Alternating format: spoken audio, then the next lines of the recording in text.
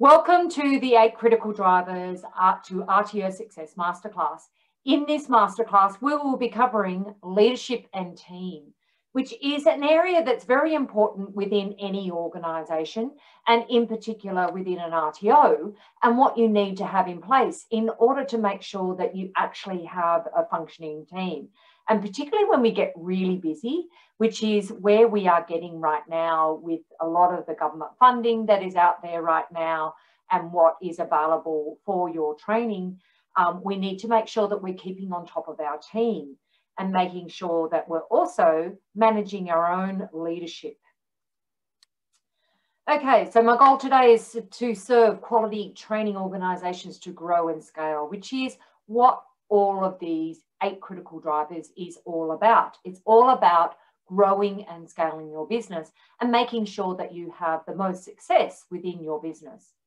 So today you're working on your business and I want you to be really focused on the webinar that we are delivering today and make sure that you're making this webinar your priority for the next 90 minutes.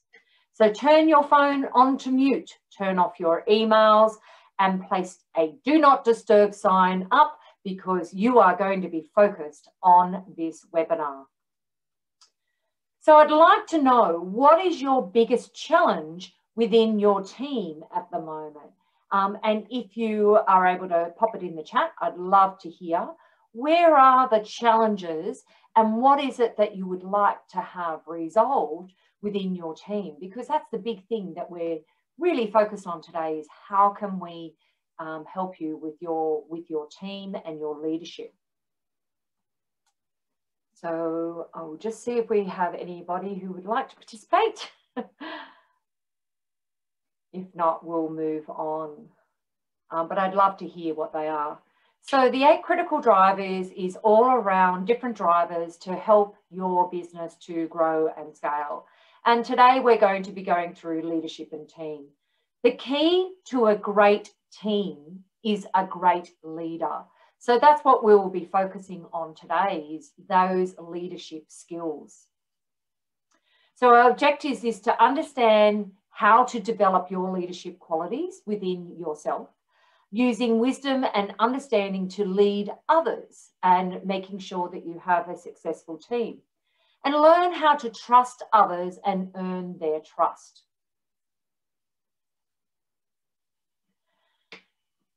This famous question came down to us from Niccolo Machiavelli, a political theorist who lived in Italy during the Renaissance. He contended that a leader who is feared is preferable to a leader who is loved. However, he also lived during a time of political instability where city governments changed in a flash, usually violently and usually involving executions of the previous leadership. Since we no longer live in an age where stepping down from a leadership position or being removed would involve the loss of one's head, do we really need to adopt the route that proved so disastrous and such ruthless dictators as Saddam Hussein and Augusto Pinochet? So we really are looking at how do we be a better leader? Do should we be loved or should we be feared?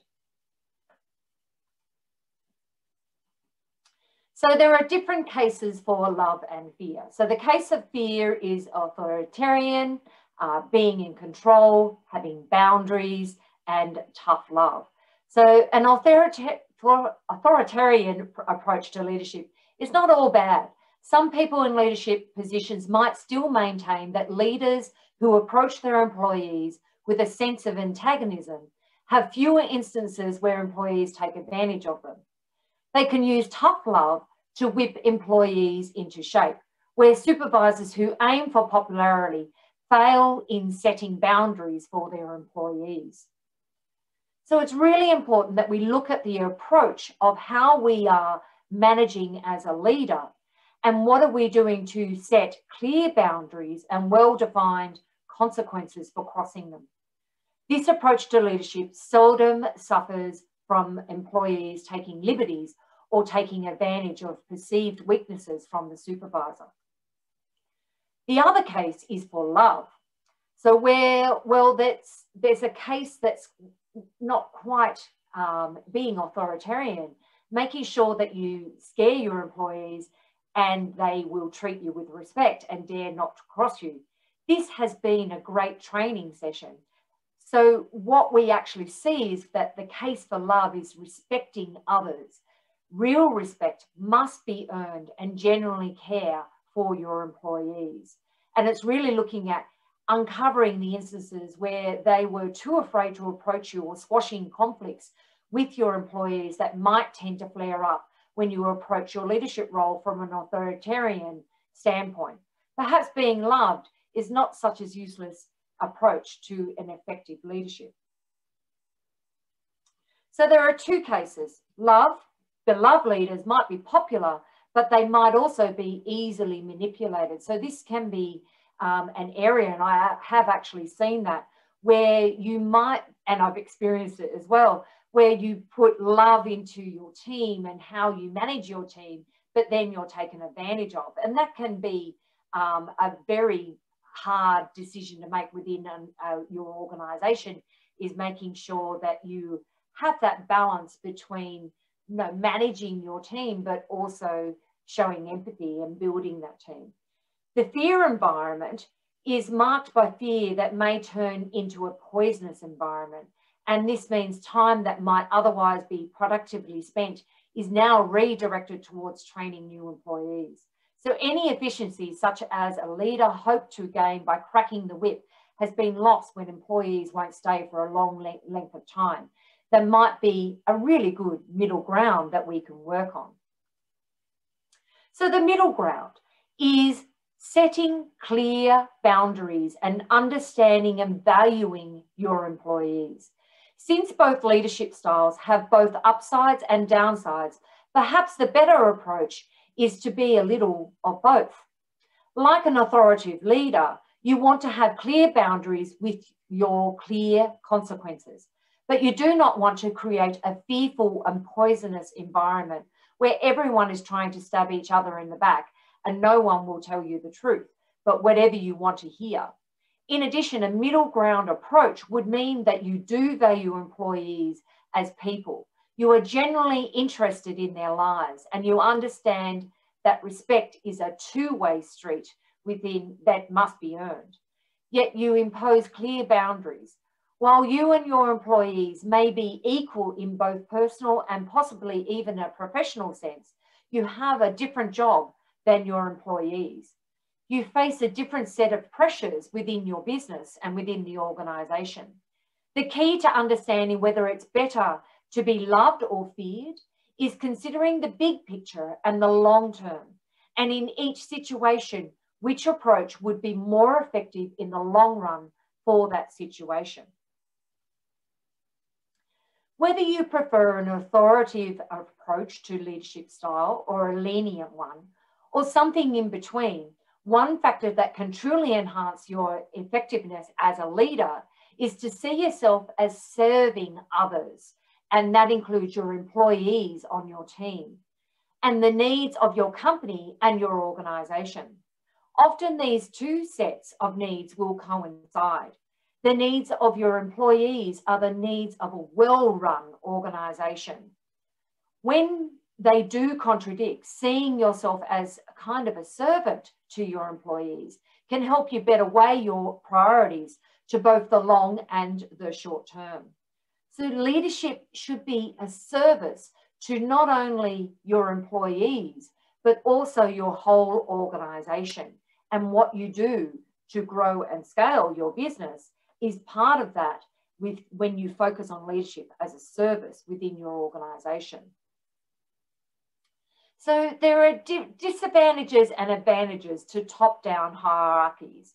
So when we look at the disadvantage, the potential for power-based politics is, is um, very big within an organisation. And employees at the bottom can often feel less important. If you have a weak leader, you'll also have a weak organisation. And we have seen this when we look at like different approaches in different organisations. You can see where there's weak leadership, it can come down through the organisation. Um, and for example, we've experienced this recently with ASQA um, and looking at the leadership style within ASQA and how that affected the whole audit process and then also how it affected the whole industry. Um, and you can really see that. And even if we look at uh, something like going into politics and looking at Trump and looking at his leadership style and how that came down and worked through the uh, whole political structure. So information from management and higher ups is prone to distortion when we have a top-down hierarchy. Both management and employees can have a poor understanding of what other groups deal with. So the advantages is you always know who is in charge and who is to report to. Decision making is very efficient and advancement up the career ladder is clearly defined for the team. So they have a really good understanding of where you can work within a team. So when we look at the lateral approach, um, which is an alternative to the tradition of a vertical organisational structure, is looking at the horizontal structure. In this structure, the different departments are administered by project managers who report to an upper management and serve a conduit between the team and the administrators. This approach has its own pros and cons. The advantages are this approach tends to reinforce creativity and innovation because employees are more willing to take risks when they are known, when they know that they won't lose the status in doing so. The organisation can better adapt to changes in circumstances because communication um, is not, not uh, filtered through different uh, levels or within the organisation. Employees have a greater feeling of having a stake within your organisation.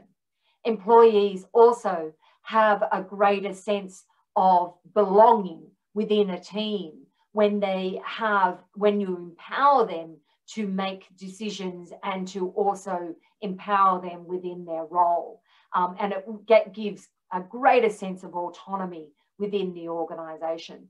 There are so many advantages to having a team that's more of a horizontal approach within um, your organization. The disadvantages is, is when something goes wrong, the lack of a clear structure can lead to blaming of different teams and departments. Decision making can be a slow process and the lack of authoritarian supervisors can lead to an undisciplined and chaotic work environment. Transitions from vertical to horizontal organisational structures can be very difficult because those used to or who are used to authoritarian management styles find it difficult to adjust to seeing co-workers as their peers. So it's really looking at you as a leader. How can you ensure that you are managing your team, um, but looking at it from a co collaborative approach?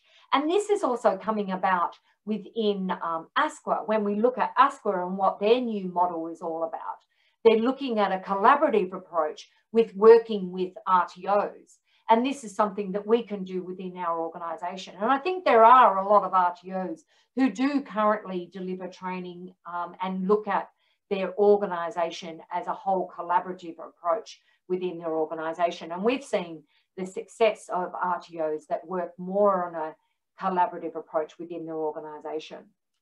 Regardless of what your organisational structure is, um, to lead effectively helps to know your employees on a personal and professional level. Obviously, when you have a larger organisation, the former can be very difficult than the latter. But as we know with a lot of RTOs, we tend to be a smaller organisation. This is where it's really important when you do have a bigger organisation is make sure that you've got smaller teams that are working more effectively together um, as, the, on the, as those teams. So know your employees on a personal and professional level and understand what it's like to work on the front lines and address each person as an individual.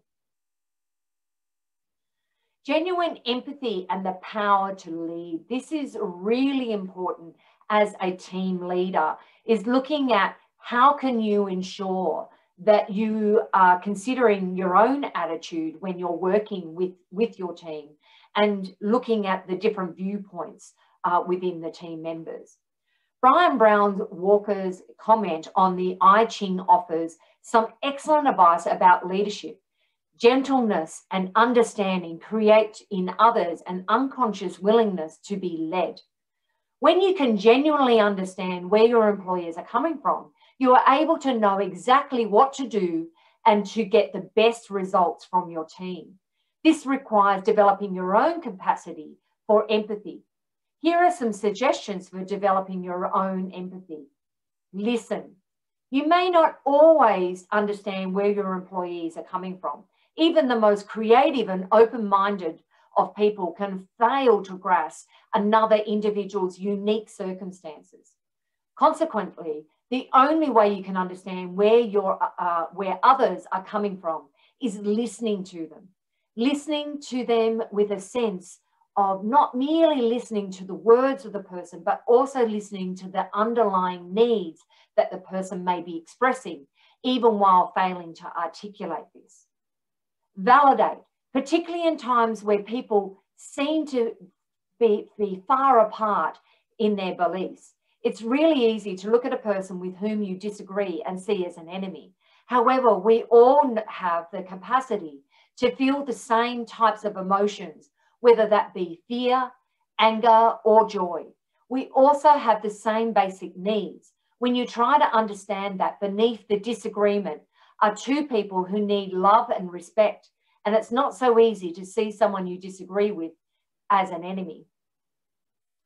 Consider your own attitude. When you find yourself in a disagreement with someone, ask yourself what you want from this interaction.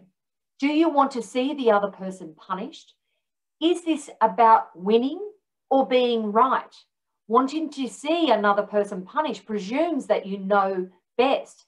A dangerously arrogant attitude especially from a leader who should be looking to serve their employees, can be detrimental if you take the wrong approach. Suspend your own viewpoint. When you are trying to understand another person's feelings, your own viewpoint isn't necessarily the same perspective. In fact, it gets in the way of seeing another person's view. Remember that suspending your views is not the same as dropping them or changing them your viewpoint is still there. It's just understanding the other's viewpoint. Leadership by design. So few people are actually born to be leaders. And often when we start an RTO or get into an RTO, we don't actually consider the fact, and this can be any business, we don't actually consider the fact that we are becoming leaders when we are working within an organization we look at all the other sides of the business and what you need to have in place within that business.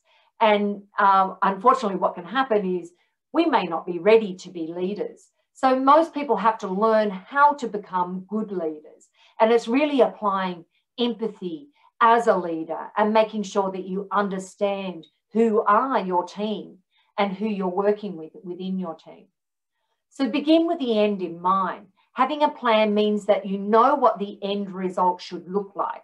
This can apply to your work environment, the culture, or what you expect from your employees. By having a clear idea of what you want from your employees and what you want from yourself, you can put yourself in a better position to plan how to meet your goals. And when you have the team on your side, they actually understand what your goals are and what you want to achieve.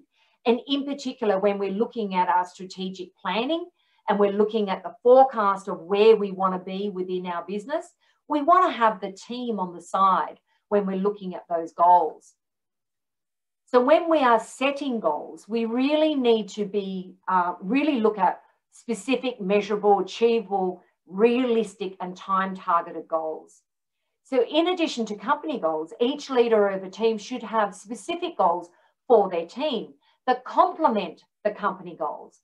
These goals can inform how you make policy and what kind of team culture you foster.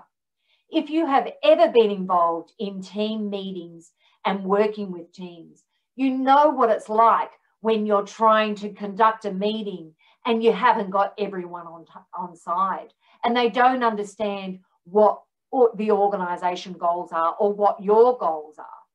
So what you really need to look at is whenever you're involved with these meetings or teams, building exercises that have and seem to be fun, but ultimately pointless or waste your time.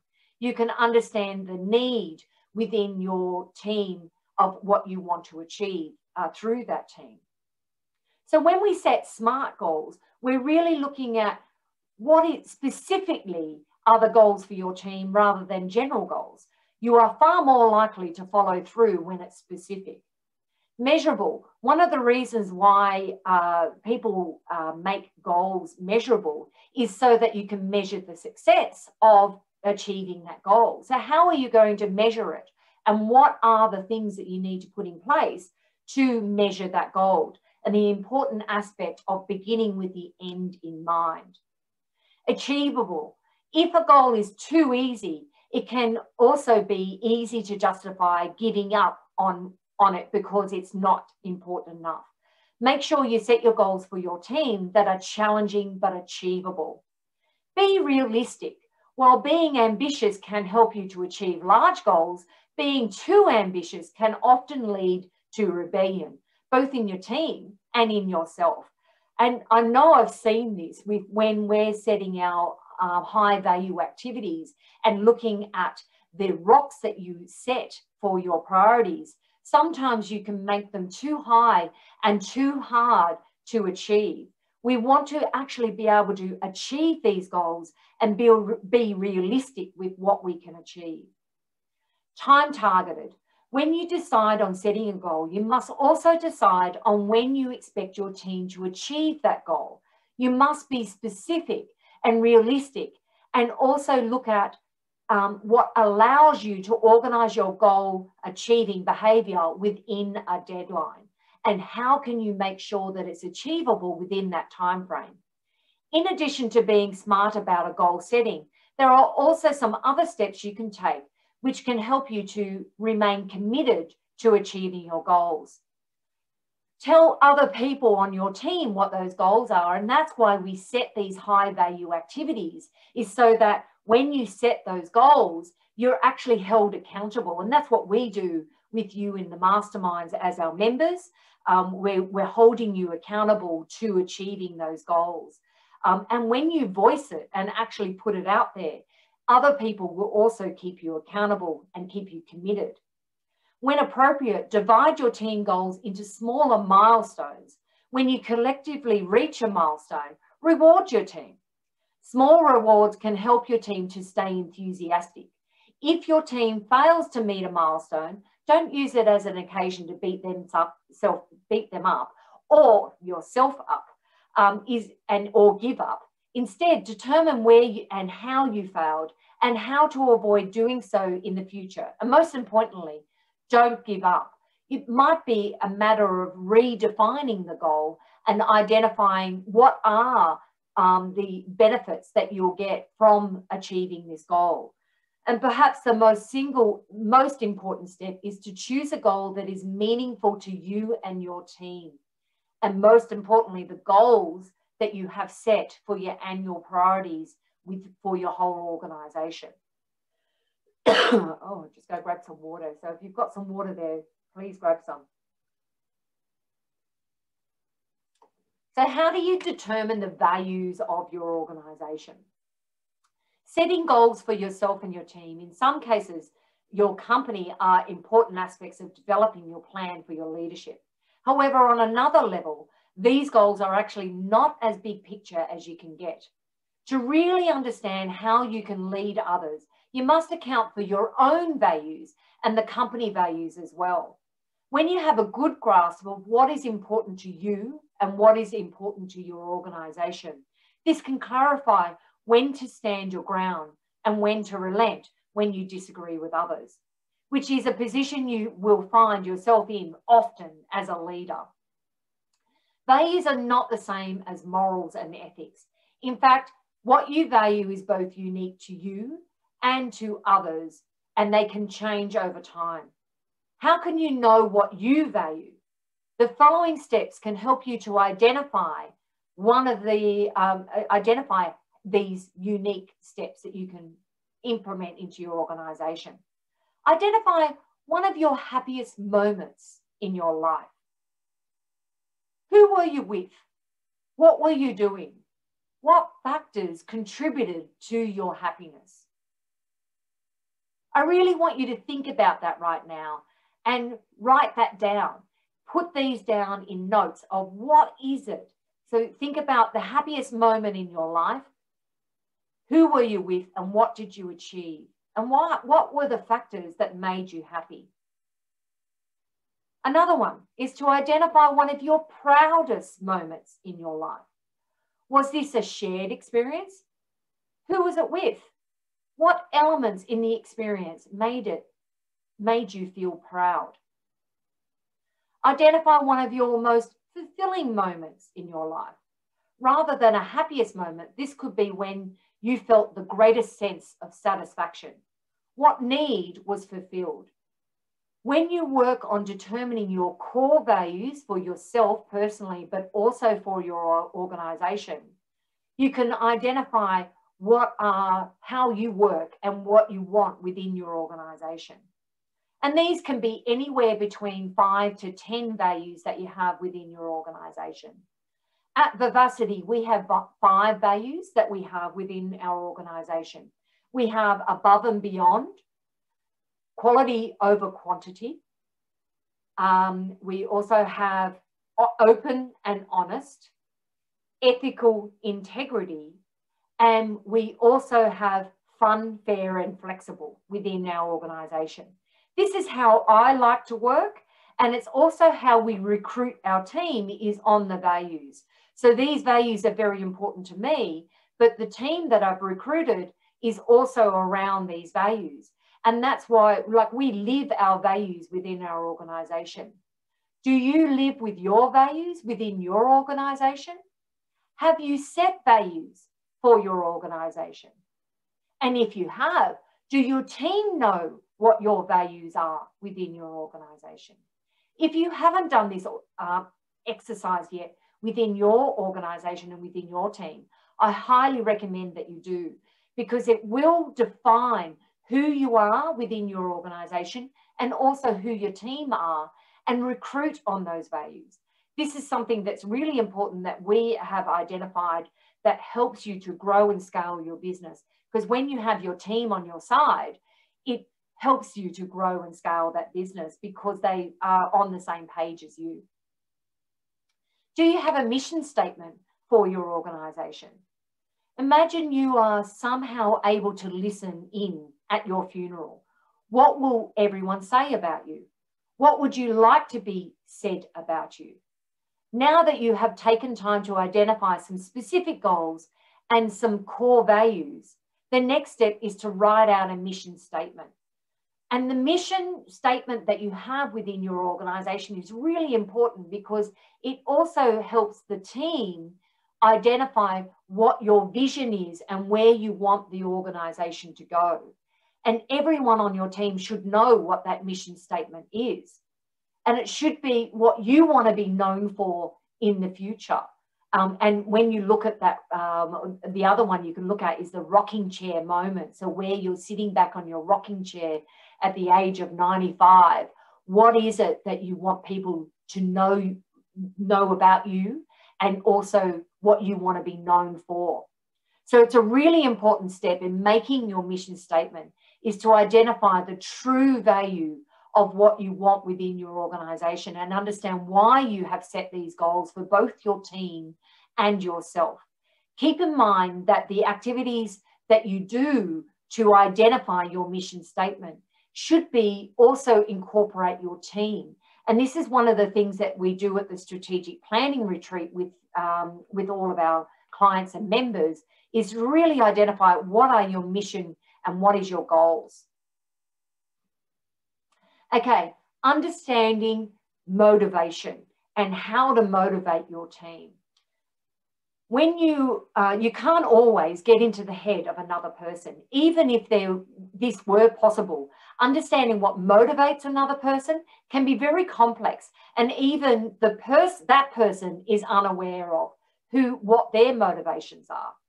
However, to a certain degree, the essence of leadership is getting others to do what you need them to do, as if it were their original motives themselves.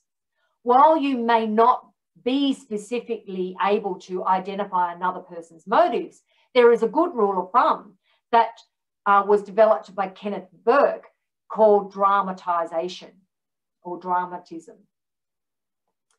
So the great Canadian rock band Rush once said, all the world's indeed a stage and we are merely the players. To be fair, they borrowed this notion from William Shakespeare, who noted that each person is like the star actor in their own play. Kenneth Burke developed this theory of dramatism based on this notion. If you understand that people see themselves as the star of their own drama, this can be the first step towards making a good guess of what their motivation is. If you can, at the very least, think in terms of how other people are motivated, you are better able to develop compassion for them. Have you actually asked your team what motivates them? Have you asked individually what motivates you and, and what gets you up in the morning? What makes you want to do your job each day? With compassion, you are better able to understand another person's needs and how to meet those needs while motivating the person to help meet your needs as well as your company needs. According to Burke, on some levels, most people in our society and culture are motivated, motivated by guilt. He uses this term loosely to include emotions such as shame, disgust, anxiety, and embarrassment. From this viewpoint, people act to try to avoid guilt um, and guilty emotions or to find redemption, which is what makes those feelings go away. It is this attempt to move from guilt to redemption that puts an individual's drama in dramatism. There are few factors that contribute to a large way to people's feelings of guilt and inadequacy. The social order in hierarchy. Um, as people interact with each other, we consciously and unconsciously create a sort of pecking order through our language and concepts. This gives individuals a sense of relation to others in terms of being perceived as equals or as a superior or, or inferior to another person or group of people. The negative in this sense is an act of rejecting your place in the perceived social order. Burke used the term rotten or perfection with imperfection to describe the situation where people realize that their place in a social hierarchy is to some degree arbitrary. Those who inhibit a superior position may feel guilt or anxiety because our language, um, our language includes a notion of perfection that is impossible to achieve in actuality.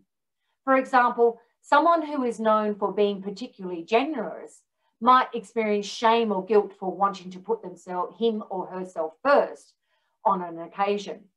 The idea of perfect generosity is unattainable so the person feels guilty, pushing them to seek redemption. Conversely, someone in an inferior social position might realize that he or she is not as lowly as circumstances may bear. And this becomes motivation towards redemption. Being a victim is also another factor in this drama where the guilty person lays blame for her or his circumstance uh, to, on an external source another person who or society condition. There are two types of victims, universal, which blames everyone and everything, and fractional, where a person blames a specific group or individual. In vilifying the other person, the guilty person can assume a heroic role in this drama. So you've really got to think about how people are acting and what are they doing within their role in life um, and within your organization. Redemption is the final stage of the type of drama where the person purges guilt through a kind of death or either symbolic, um, as in a transformation in a character or a profession of one's sins or misdeeds, or in actuality by truly dying. It is uncommon and disrespectful, for example, to speak ill of the dead Burke considered the redemption stage um, a transformation where one transcends from old order or so societal hierarchies and a new order is created. You can look at Burke's transition from guilt to uh, redemption as following two paths. The first begins with the status quo, followed by guilt or anxiety about one's place in the status quo, followed by identifying a scapegoat, followed confession and repentance, which leads to the transformation to the older into a new order. This description of move from guilt to redemption can be helpful in understanding how people come to actively dislike others. Often um, at the root of ill will is a feeling of inadequacy and guilt and in an individual. So it really gives you a better understanding of that culture within your organization it's made up of so many characters that you have within your team and understanding who those people are within your team and what those characters are and what motivates and drives them, you're going to have a much more predict, uh, productive team. Another aspect of Burke's theory of dramatization is called identification. If you have ever heard someone say, or have you said it to yourself, I can really identify with this person. You're getting at the heart of what Burke means by identification. In some ways, it is the opposite of being a victim. When you identify with someone else, you are able to feel empathy and compassion for them. In identification, something of you rubs off on the other person with whom you identify, and something of that person rubs off onto you. In leadership, you can create an unconscious willingness to be led in another person by identifying with that person and trying to meet the other person's needs. When you go out of your way to an, allow an employee off for a vacation he or she is excited about, you create in that person a willingness to follow you and make your goals their goals. Constructive criticism. And this is really important when you're working with a team. It's really looking at how, at what, and understand what motivates the people you are leading is a great way to better assist them. But you also have other pressures upon you as a leader, which can include your ultimate goal for your company, as well as the pressure from higher up within your hierarchy. What's more, even when you are understanding and a compassionate leader, some may seek to test this. The difference between an understanding but effective leader versus a weak leader is how well you respond when people attempt there consciously or unintentionally um, to cross boundaries. When someone engages in behavior that's detrimental to your overall leadership vision, you occasionally have to intervene. What's important in this case is that you intervene in an effective way that makes the situation better for everyone involved. And it's really looking at how can you build a much more constructive team um, based on you know, feedback that you receive. When you have to criticize or correct an employee, one of the most important things to consider are your own motivations. While it may be tempting for you to punish an employee who acts up, this can frequently create poisonous environment where the employee misses the message um, of improvement and only hears the negativity and involves asserting your superior position over the employee. This can recreate a sense of parent-child relationship, which runs uh, a counter to seeing the other person involved as a person and equal who deserves respect. Punishment often has unintended consequences as well. If you look at the number of criminals who leave prison only to return over a period of time, it becomes evident that punishment can harden someone into repeating behaviors as much as it can deter the person from those behaviors. Sometimes it is helpful to retreat from a potentially volatile interaction rather than addressing a person when you are angry. You can use an email to schedule a time to address an issue. For example, which has the additional purpose of allowing you to restore your emotional balance. Ultimately, you're in conflict with an employee because he or she has crossed a boundary, whether it's a social boundary or one related to the expectations of work. The more productive and effective approach is to find a way to correct the behaviour rather than finding a way to punish the employee. One way to approach an intervention where you need to let an employee know about an area of improvement or intolerable behaviour that needs to be corrected is to try to envision the situation playing out in such a way that there are no losers. Instead, you want to consider a way in which everyone has an opportunity to become a winner. For an employee who has trouble with being at work all the time, or um, this might be a powerful move that allows the employee to take greater responsibility in he, his or her life. An improvement then carry over into the long term. When you develop a positive vision of what a successful correction looks like, you are better able to stay out of punishment or blaming mentality that so can sabotage good intentions and well, well-meaning criticism.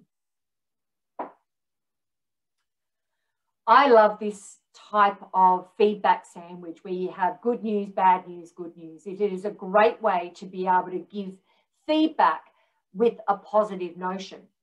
Experiencing criticism can be a very stressful situation and even giving the criticism can be very stressful for yourself.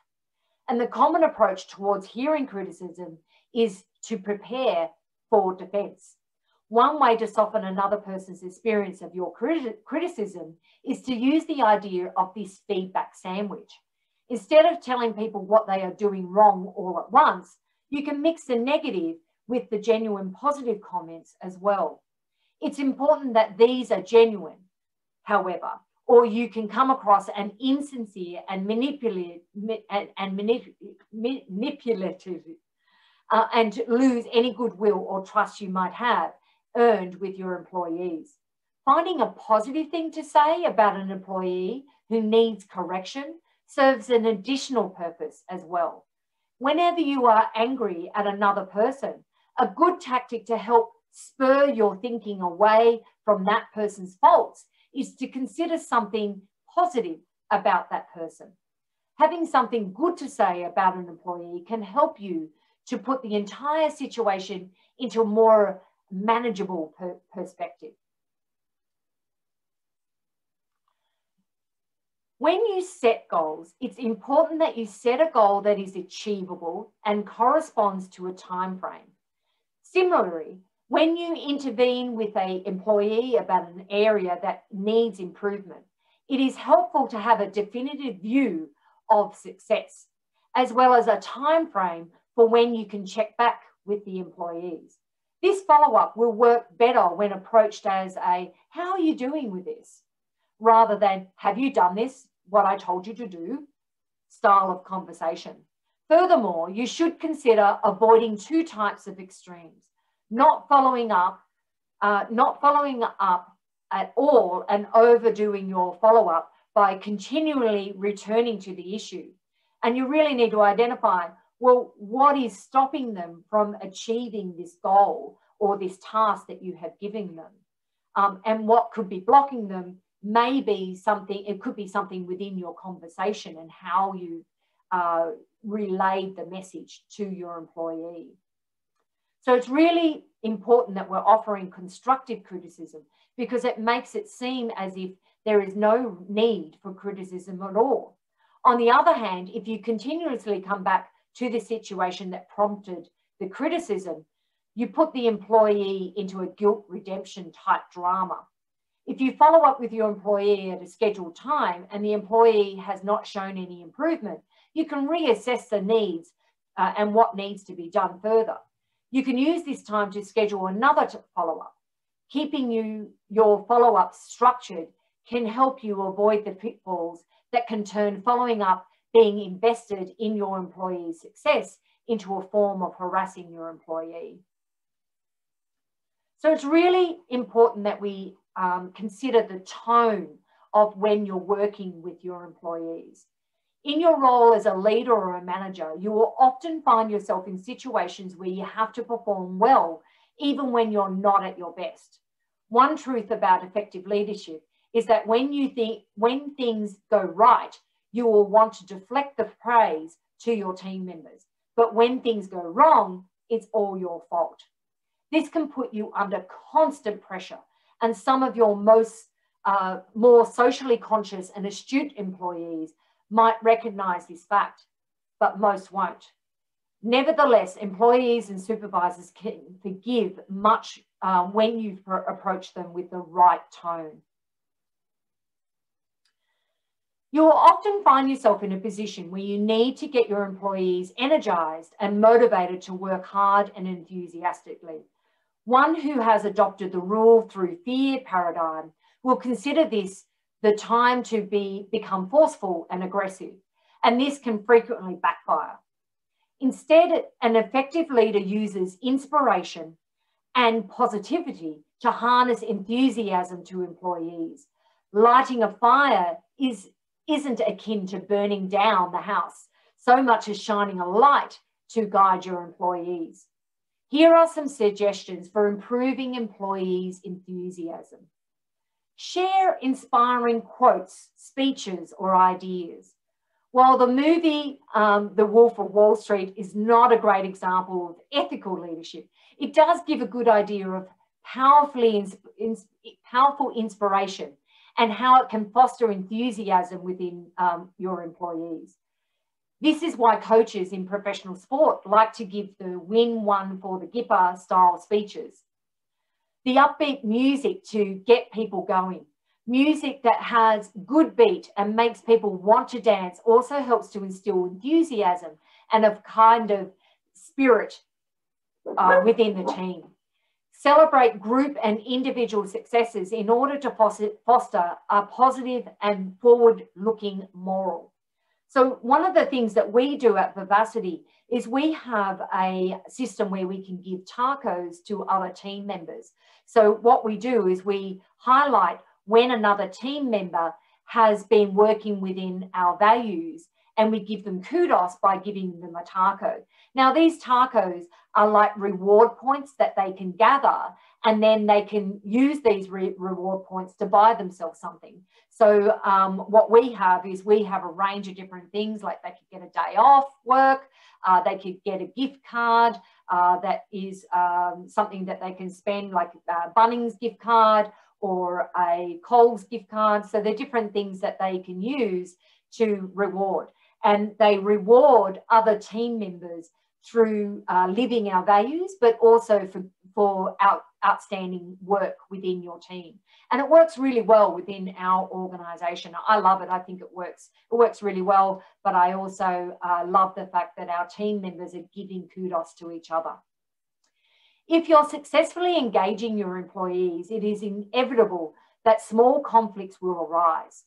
While it might be tempting to see these conflicts as a negative, and in truth, if they are allowed to rage out of control, um, they will have negative effects. The fact that people are engaged enough to get angry or tense shows that they are employing their creative energies, and that's a positive.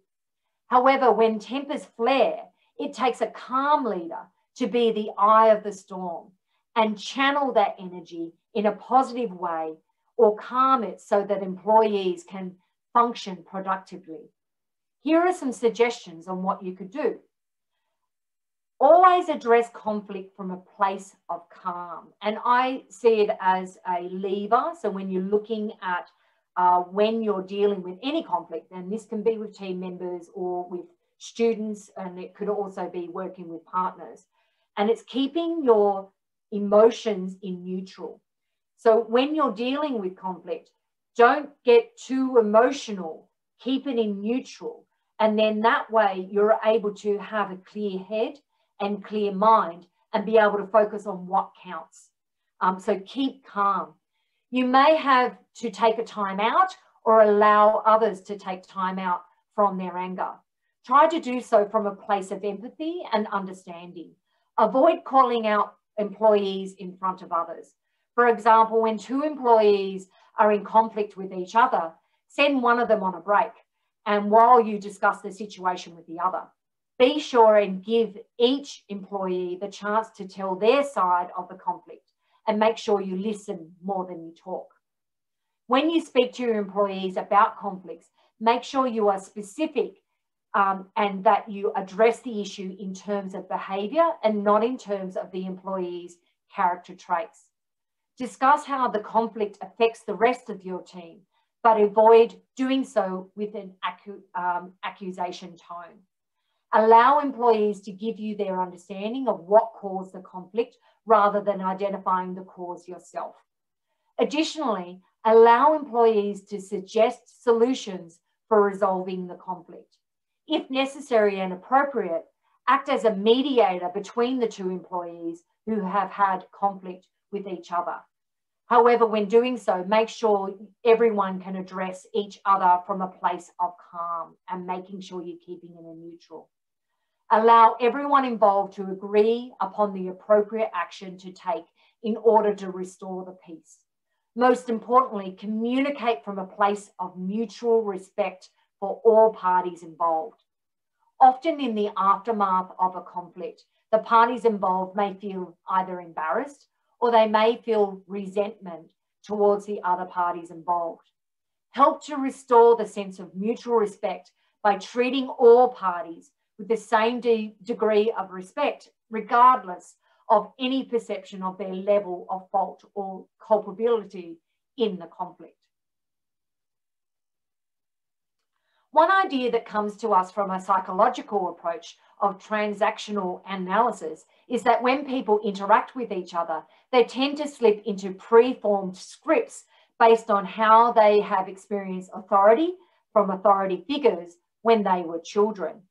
These scripts can frequently allow people to engage in escalating behaviours that create vicious cycles of conflict.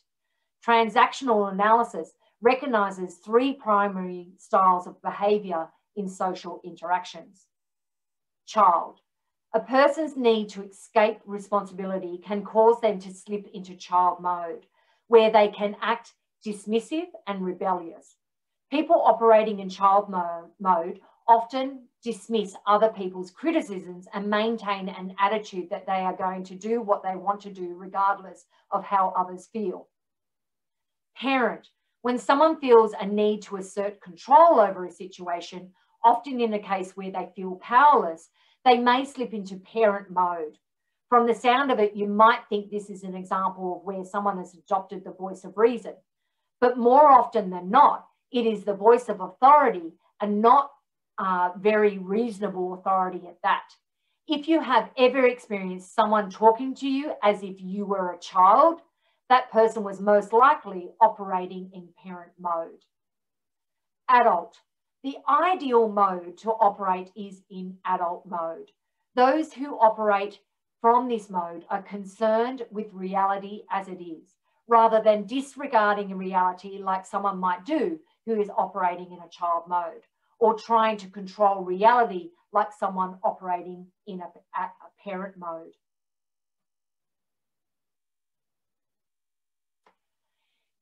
If the child, parent, and adult mode behaviours are scripts that people slip into, what keeps people playing their roles? And how can someone slip out of the role? In transactional analysis, there are two types of transactions, complementary and crossed. A complementary transaction means the behavioural modes match up and can continue indefinitely. One person's child mode evokes another person's parent mode, and things can spiral out, spiral out of control into perpetual conflict. In order to intervene, one person has to engage in a behavioural mode that doesn't complement the other's behaviour. This creates a cross transaction. When a transaction becomes cross, the destabil this destabilized the scripted, scripted behaviors where those involved seek to find a new complementary behavior. Keep in mind in this scheme, parent to child and vice versa is complementary, but so is adult to adult. The way to change the script then is to someone to adopt an adult mode of behavior. When this turns the transaction from a complementary transaction to a cross transaction, the other person seems to find a new equilibrium in a new complementary transaction. So they will in turn also assume the complementary adult role. When you lead others, you will find that they will rise and fall to the expectations you set for them. If you trust your team and act to be worthy of their trust, they will strive to be worthy of your trust.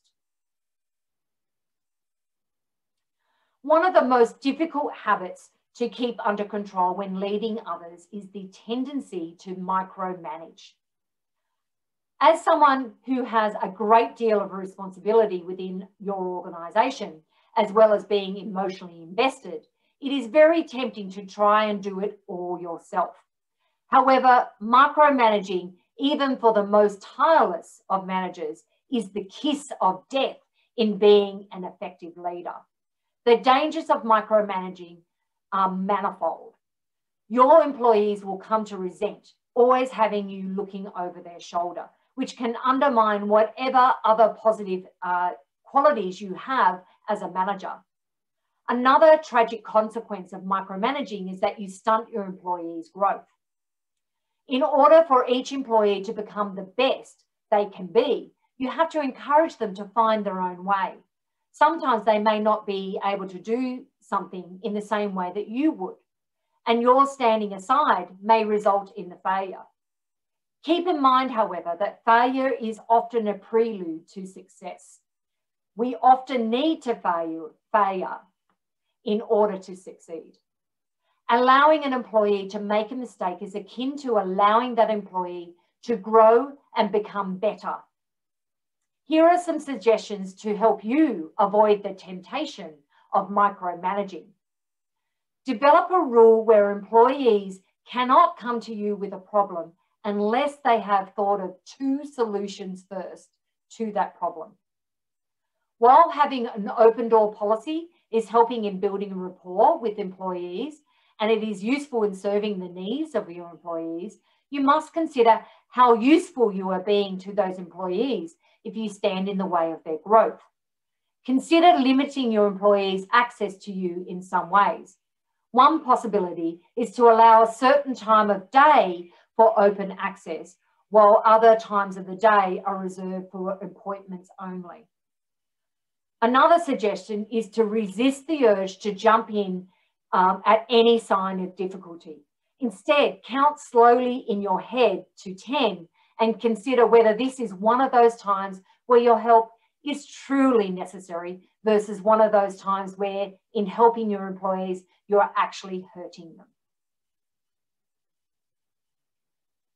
What frequently stops us from delegating responsibilities to employees is a fear that they may fail us. However, this distrust of our employees can be more damaging than failure itself. Living in fear keeps our lives in holding patterns, and we never grow or allow others to grow. There is no re reason to be afraid of failure because it is inevitable in all of us. If, however, we are able to view failure as a learning opportunity, then we can become comfortable with the idea and learn to take risks. Here are some suggestions you can use to manage your trepidation about delegation.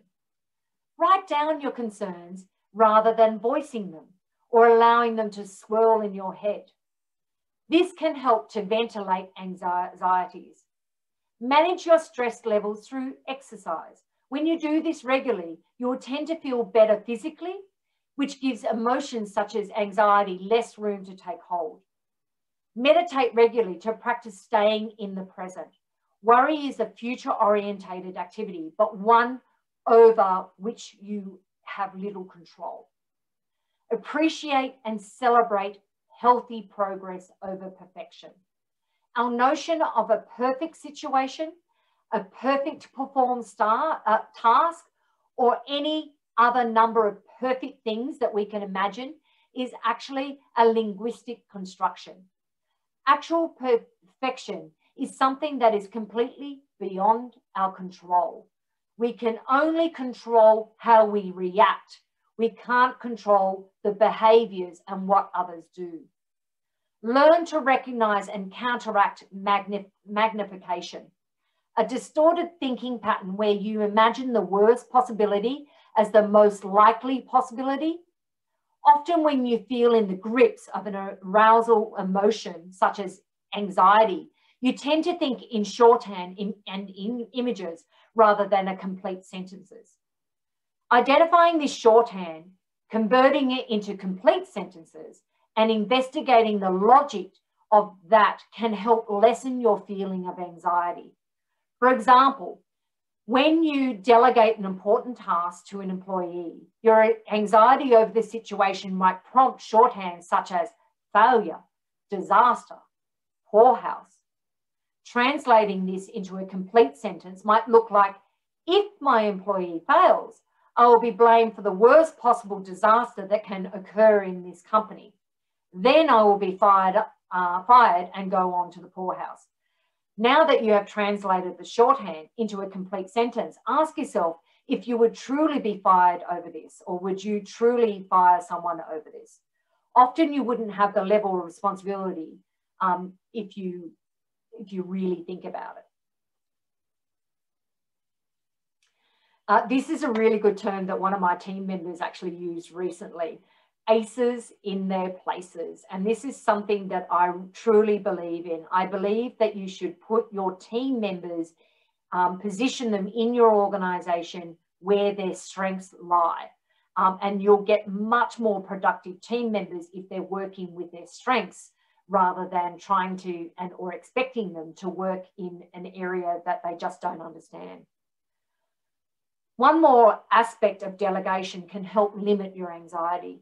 You must delegate in a proper manner. Delegating tasks blindly or randomly can turn disastrous if the person you have delegated the task to is not suited to that task. Fortunately, one reward of getting to know your employees is that you can get an idea of what each employee excels at. Um, one of the things that we do is we do a, a team dynamics profile. So we profile each of the team members and we identify what are their strengths, um, and how they work more effectively within a team, and how you can work more effectively with your profile and their profile. And it works really, really well when you have an understanding of how people work best and what are their strengths within the team. By tailoring the tasks you delegate to your employees' strengths, you put them in a better position to succeed, and their success is ultimately your success even if you will inevitably give them all the credit. By putting your aces in their places, you will also foster a sense of belonging and importance to each member of your team. If an employee knows that he or she is in a role because you handpicked them for it, this will pay huge dividends in that person's own confidence, which helps to maximize their performance. Celebrating success. In order to get the most out of your employees, it is helpful to foster a culture of mutual celebration of success. And no success is too small to escape such a celebration. Take time out to recognize a job well done, and you will encourage additional successes. Cultivating certain emotions in your employees, such as enthusiasm, optimism, confidence, and tenacity, will help them to perform better and enjoy further successes. Avoiding micromanagement, delegating tasks properly, and celebrating successes are all ways to increase your high regard and trust for your team. But trust is a two-way street. An effective leader is one whom the followers will trust implicitly. Trust, like respect, does not come automatically. Some people may be naturally inclined to trust people, but the degree of trust you need to lead effectively must be earned. The most important way to earn trust is to consistently be honest. This can even be helpful when admitting you are wrong or that you don't know the answer. Employees will respect someone who can admit vulnerability more than someone who tries to hide behind a veneer of perfection.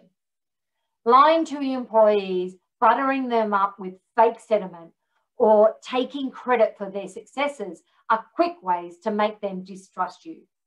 Once employees distrust you, your ability to lead them and effectively becomes near impossible. However, honesty should never be used as a weapon. You may occasionally have to tell an employee how it is, but this is exactly where considerations of tone and intent become vitally important. And this is what one of our values is, is being open and honest. We actually have that as a value within our team. And we, um, I encourage it with our team as well. I'm open and honest with our team as well. And we have a much better rapport with the team members when we are open and honest. In addition to being honest, an effective leader will earn trust by being reliable in everything she or he does. Conversely, if you prove unreliable, employees will not trust you. This makes it vital to follow through on everything you say. If you indicate that there is a boundary that employees should not cross, you must address it when that boundary is crossed, even if it is with a mild response such as, don't do that again. If you say you will give an employee certain requested time off, then you must accomplish this. If you tell an employee you will follow up, then you must follow up. Being reliable also means being consistent.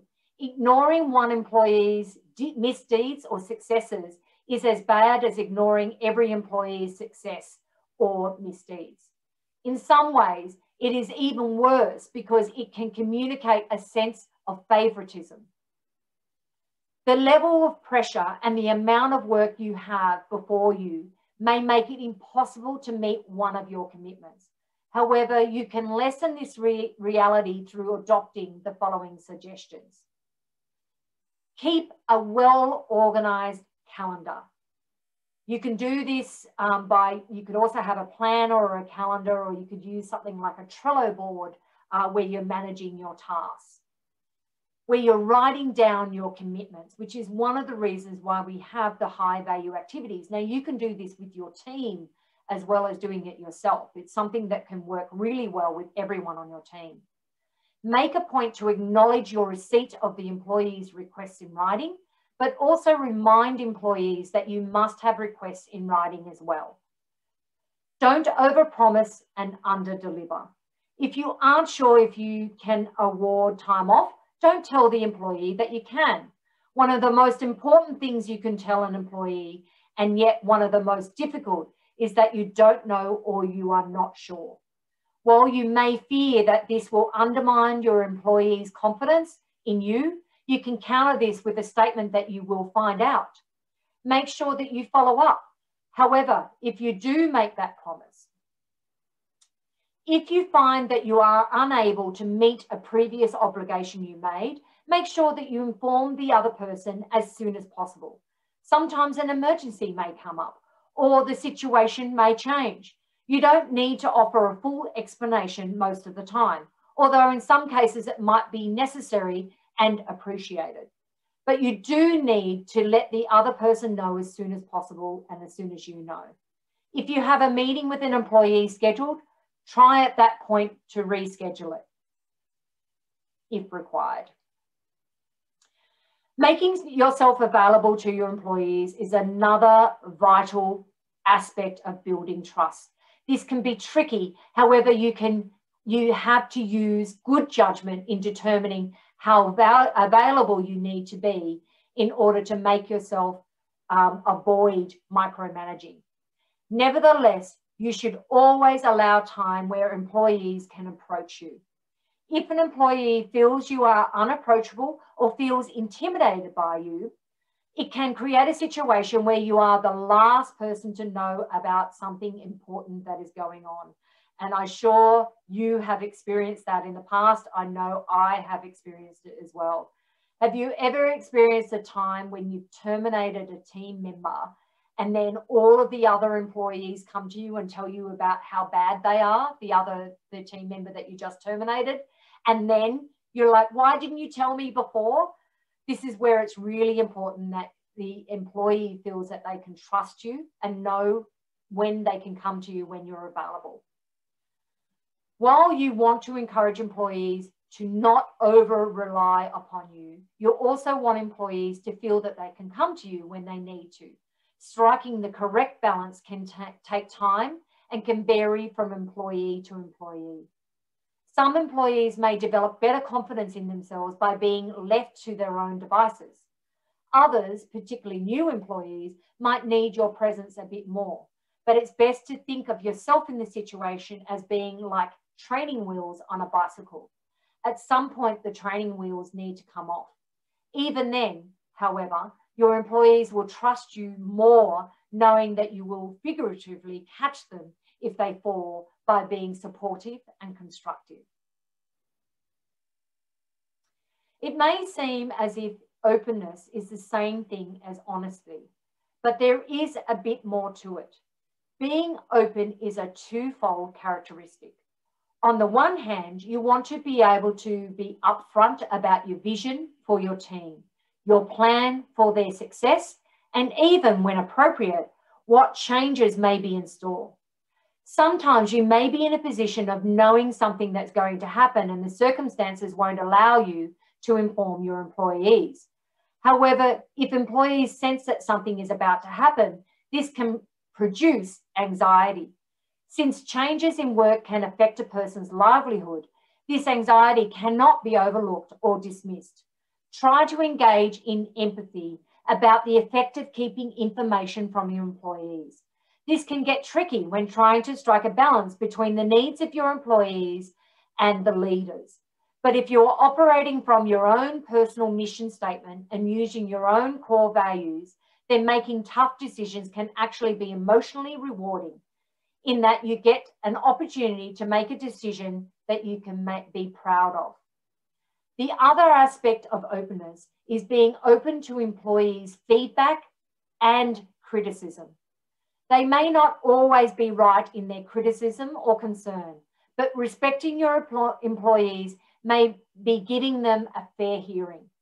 When someone comes to you with a problem with what you are doing or how you are doing things, listen carefully.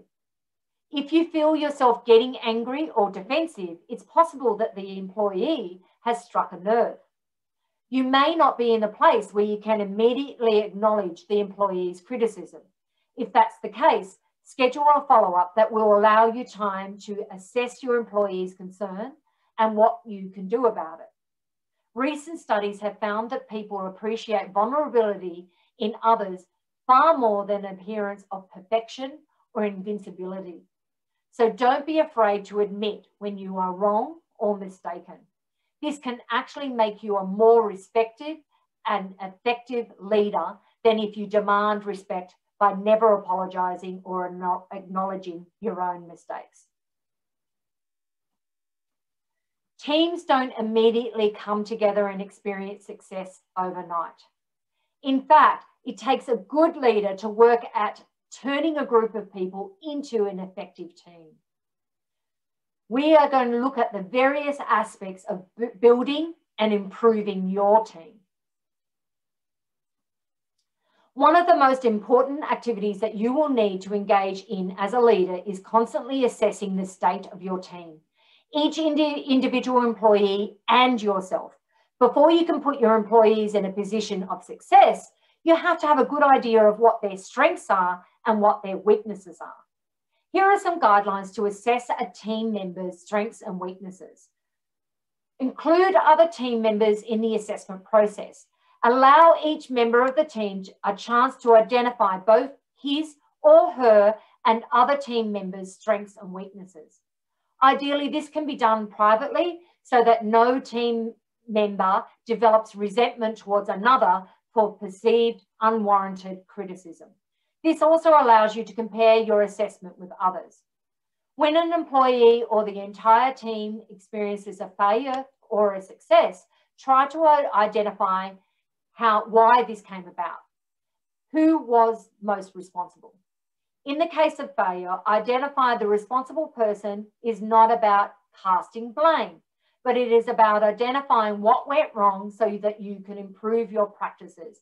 And this is part of your continuous improvement approach throughout your organization.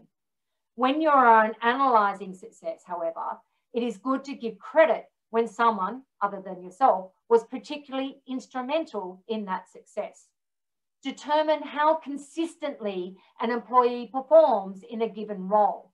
If that employee is consistently unsuccessful, try to find another opportunity and role for that employee to be successful. Identify the skills necessary for success in certain roles. And when an employee is um, consistently successful in the role, note these skills as part of the employee's skill set. If an employee fails to perform consistently, you may also identify the skills where their weaknesses are within that particular employee. Observe employees when they act alone or outside of the team structure in order to determine their strengths and weaknesses and how they might change in different contexts. Perhaps it is a, not a lack of a particular skill that is the weakness, but an inability to apply that skill in the team setting or vice versa. Dr. Meredith Belbin identifies nine team roles that can help make a balanced and effective team. The plant. The plant is the highly creative, unconventional member of a team. They tend to be strong in thinking outside the box, that, but their primary weakness is a tendency to be forgetful. The monitor evaluator. This person is a good at providing logical and dispassionate view of a range of decisions before a team. They tend to have difficulties with being overly critical and slow moving. The coordinator. This employee, often it will be you, helps the team to focus on goals and to delegate work effectively. They tend to either over delegate or under delegate and end up micromanaging the resource investigator. This employee will tend to understand how your team work and can best translate to the rest of the world. They will be good at understanding the competition and developing connections with others outside and inside the team framework, but they can have difficulties with following up on or getting in-depth information. The implementer. This role involves someone who is good at taking theory and putting it into practice. They try to find strategies on how to make an idea work in the most effective manner. Implementers have difficulty considering alternative approaches and may be slow to give up on a favoured idea. Completer finishers. These team members excel at the end of a task. They make sure everything is functioning ideally. These employees act as a kind of quality control. Their strengths have high standards, can also be their weaknesses, if in that they tend to be perfectionists. Team workers. These employees really are really good at smoothing over the transitions and difficulties um, of tensions that come up when people are working hard on creative endeavours. They excel at working and playing with others, but they can be indecisive when it comes to time to make team decisions about the best course of action. Shapers. These employees act as a kind of engine for the team. They can effectively get others going and create momentum. Typically, shapers are highly driven and enthusiastic in individuals. Their weaknesses tend to be uh, overly aggressive and temperamental in their desire to get the team's work done. The specialists. The specialists of the group might only know how to do one thing, but they are an expert at it. Their focus is narrow and in depth, which can be both their strength and their weaknesses. An ideal team is well balanced with all nine roles being expressed. Since many teams are smaller than nine people, you might find it difficult um, to find all of those different members and how they excel at multiple roles. When you identify a key strength in one of your employees for example, an employee who is highly energetic, that you can help them, then you can help them fulfill one or more roles on your team. The energetic employee, for example, might be good at being a shaper as well as being a resource investigator.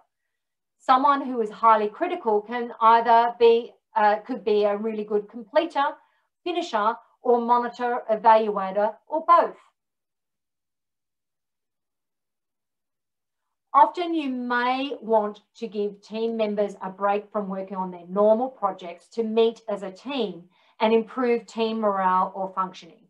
Sometimes getting a team member for a meeting or a team building activity can actually be an ex exercise in futility. In order to use team meetings and team building exercises effectively, it is helpful to have specific goals in mind to identify those goals to your team members and to follow up. For example, doing a trust building exercise after a time when team members were at each other's throats is helpful, but if you only do the trust building exercise the one time, after a while, team members may forget the point or lose the benefits they gained from engaging the exercise in one time. When planning a meeting, for instance, identify why the meeting is necessary and plan an agenda uh, to the time, time for the uh, team members to play together and how are they going to work together and keep their meeting organised. Help your team members to recharge after a particularly grueling project, and then you'll have more productive team moving forward. It can also help them build more of a rapport for each other. Having specific goals for an activity does not preclude having an activity achieve multiple goals. When planning team building exercises, make sure that you don't undermine your attempt to improve your team. Here are some suggestions of what to avoid in team building. Make sure that your team building goals are relevant to the team's needs so that they are worth taking regularly time away from work to improve. Make sure that your team building activities are not only one-time affairs, but that they are consistently worked on to reinforce your goals for that exercise. While sports may and can be fun for your employees, they can also be destructive, particularly if it's not their strength as a um, in that sport, and they may find that they're uh, on a losing team instead of winning. If you are using team building exercises, try to incorporate them more frequently than once or twice a year. Incorporating these exercises monthly or weekly helps to reinforce your goals. And that's it for our team and leadership skills and what you need to know. Um, the best part we need to cover now is you are the boss of you. We've reached the point where you need to understand all the ins and outs of leading others. However, if you cannot lead yourself effectively, then you will never be able to get others to follow you. The most important habit that effective people can have, whether they lead others or not, is to be more proactive. Think of proactive as the opposite of reactive. Instead of having the world act upon you, you take action to make yourself into the kind of leader anyone would follow. If you have been working on a mission statement and identifying your core values, this question is probably not too difficult for you to answer. If you understand what you value in both yourselves and in others, then you can work on shaping yourself into the kind of leader you want to be. Keep in mind that developing into the kind of leader you would follow involves constantly reassessing where you are in terms of your values, your goals, and your overall vision. The further you go down the path of leadership, the more necessary it becomes to refine your skills and improve yourself. This requires both detachment and self honesty. Being detached means that you are able to dispassionately observe where you are strong and where you are weak. Self honesty is the capacity to identify personal strengths and weaknesses. In order to be an effective employee, an effective leader, and an effective person, you must have the capacity to reflect and be aware of yourself. Being self aware involves multiple dimensions of self taking care of your physical needs through exercise and maintaining a good diet are factors in being aware of physical self. Disciplining your mind through meditation that allows you to manage your emotions effectively is an example of developing your emotional and psychological awareness. You also want to have an idea of the big picture. Are you satisfied with where you are and where you are going? Imagine once again that you are at a funeral. How would you imagine the things people have to say about you would square with your life goals and your mission statement? Self improvement is a long term game. But as you work continuously on improving yourself, it is important to keep your certain pitfalls in mind. Navel gazing can occur when you become overly focused on yourself.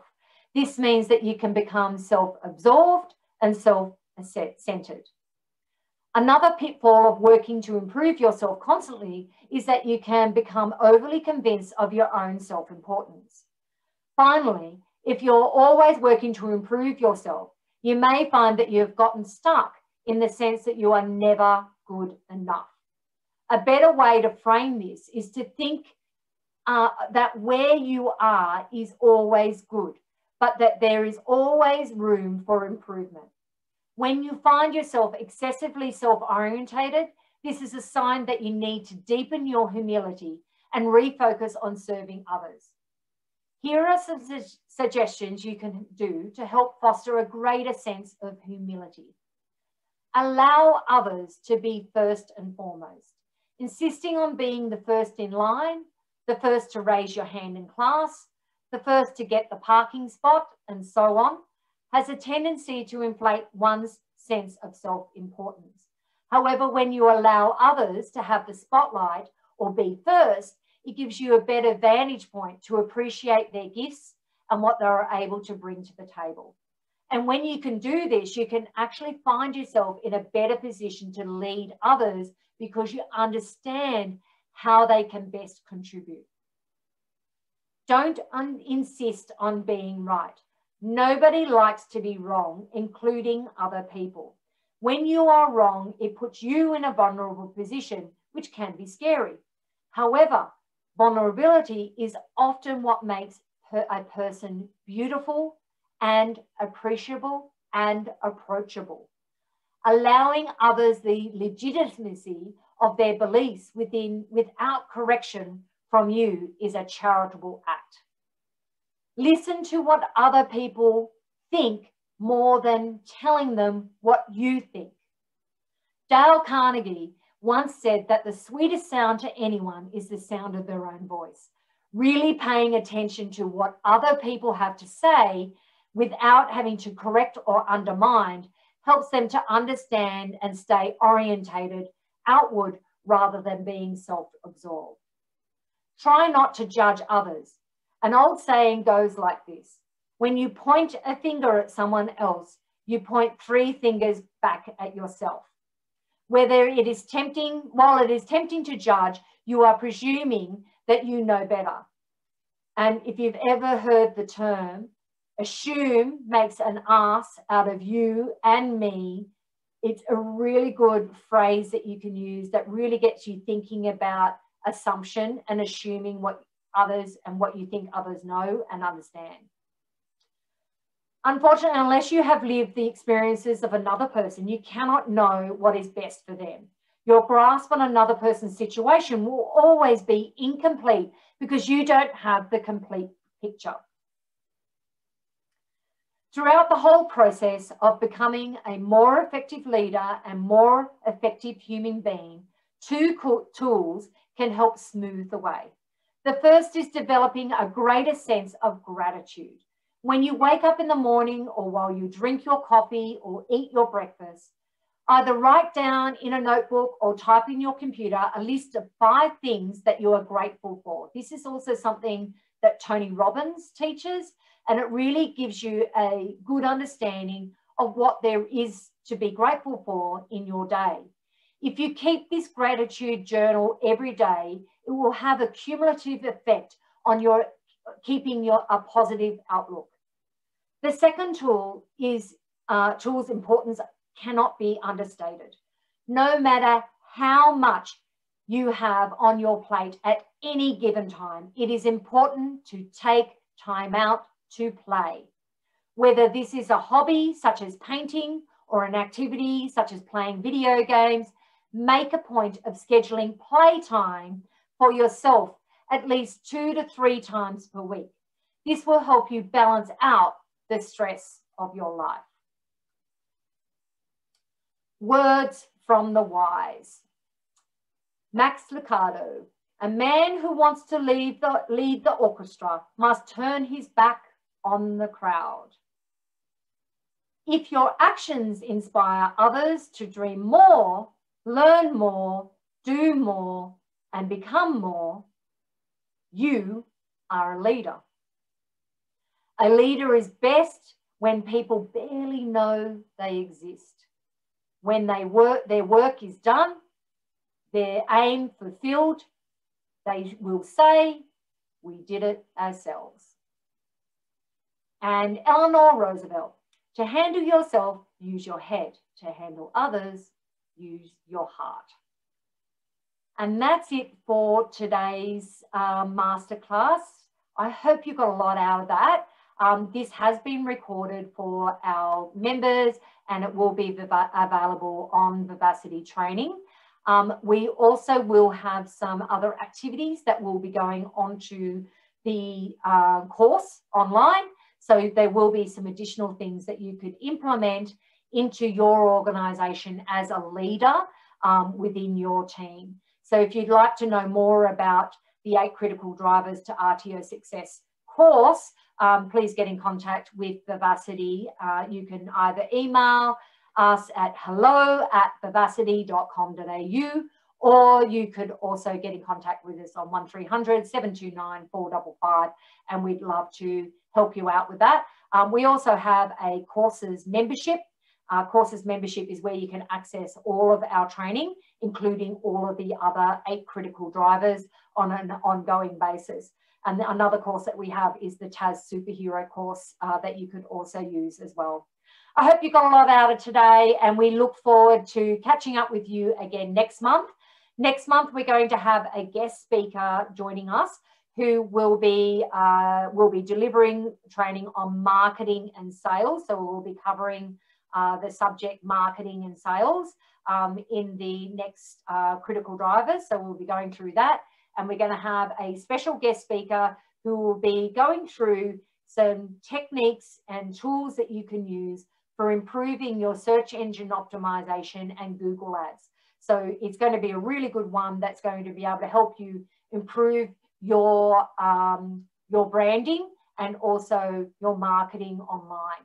So thank you very much for attending today. I look forward to uh, catching up with you next month and uh, see you soon. Thank you.